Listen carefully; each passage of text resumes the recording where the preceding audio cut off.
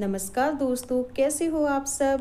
Home making with Apeksha channel पर आप सबका बहुत बहुत स्वागत है। देखिए दोस्तों, गर्मियों के स्पेशल लड्डू और ये है धनिया के लड्डू। इन्हें बनाना बहुत ही आसान है और ये हमारी आँखों और पेट के लिए बहुत ही फ़ायदेमंद होते हैं। तो चलिए शुरू करते हैं आज की आसान सी रेसिपी धनिया के लड्डू बनाने के लिए दोस्तों मैंने चार इंग्रेडिएंट्स लिए हैं। बहुत ही आसान रेसिपी है।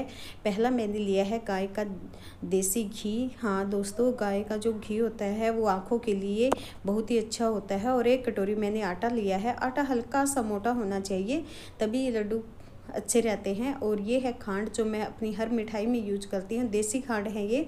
इसके साथ ही मैंने लिया है एक कटोरी धनिया पाउडर। जो धनिया पाउडर है, उसको आप पहले सुखा लें और फिर आपने पाउडर बना लेना है। तो बिल्कुल बारीक पाउडर बना लें और इसको मैंने पूरा कटोरी को ऊपर तक भर के लिए इसके साथ आप ले सकते हैं ड्राई नट्स। वो अपनी इच्छा से जो आप पसंद करते हैं, वो यूज़ कर सकते हैं। नहीं इच्छा है तो मत लीजिए। और दोस्तों, इसके साथ ही अगर आप इनको और भी ज़्यादा टेस्टी बनाना चाहते हैं तो मावा यूज़ कर सकते हैं और मिल्क पाउडर भी यूज़ कर सकते हैं। लेकिन उससे क्या होता है कि अगर हम मावा डालते हैं तो सेल्फ लाइफ इन लड्डुओं की कम हो जाती है। मुझे यहाँ थोड़े से ज़्यादा दिन रखने हैं, इसलिए मैं नहीं डाल रही हूँ। आपकी इच्छा हो तो आप डाल लें। मैंने एक कढ़ाई को गैस पे रख दिया है और इसमें डाल दिया है देसी घी। अब इसको हल्का सा मेल्ट होने देंगे और उसके बाद हम इसमें ऐड करेंगे अपना आटा। आटा आपने थोड़ा थोड़ा करके ऐड करना है और दूसरे हाथ से कड़छी से चलाते जाइए। रुकना नहीं है दोस्तों, बस चलाते जाइए, डालते जाइए और इसको आपने इसी तरीके से चलाते रहना है, क्योंकि जैसे हम आटे का हलवा बनाते हैं दोस्तों, वो बिल्कुल सेम उसी तरीके से। और जब ये पकने लगेगा तो देखिए इसकी जो कंसिस्टेंसी है वो तो थोड़ी सी लिक्विडी सी हो जाएगी, ये घी छोड़ने लगता है। इसका कलर भी ब्राउन होने लगता है और तीसरा इसकी जो खुशबू है उससे भी हमें पता चल जाता है कि हमारा आटा है वो भुन गया है और अब ये रेडी है। इसमें आप धनिया पाउडर डाल सकते हैं। जिस स्टेज पे आप आटे का हलवा बना के उसमें पानी डालते हैं ना दोस्तों बिल्कुल उसी स्टेज पे गैस को ऑफ़ करके आपने धनिया पाउडर डाल देना है। तो मैंने गैस के फ्लेम को ऑफ़ कर दिया है और थोड़ा थोड़ा करके हम धनिया पाउडर ऐड कर देंगे। क्योंकि जो आटे की गर्माहट है, उसी से हमारा धनिया पाउडर जो है वो भुन जाएगा। ज़्यादा हमें रोस्ट करने की, भुनने की कोई ज़रूरत नहीं है, क्योंकि इसको ऐसे ही खाते हैं और ये पेट के लिए बहुत अच्छा रहता है।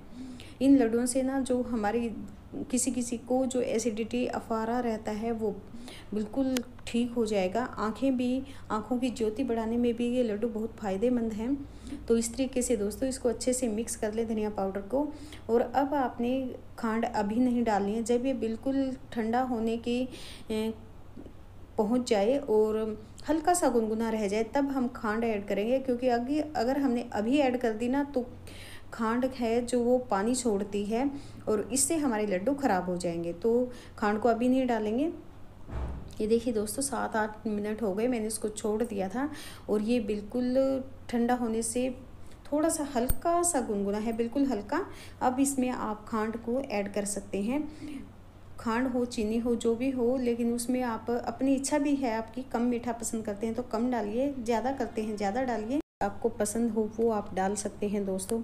और मैंने यहाँ डाल दिए हैं थोड़े से। और इसके साथ ही मैं इसमें थोड़े से खरबूजे के जो बीज आते हैं, वो भी डाल दूँगी, क्योंकि उनकी तासीर भी ठंडी होती है और आँखों के लिए अच्छे होते हैं।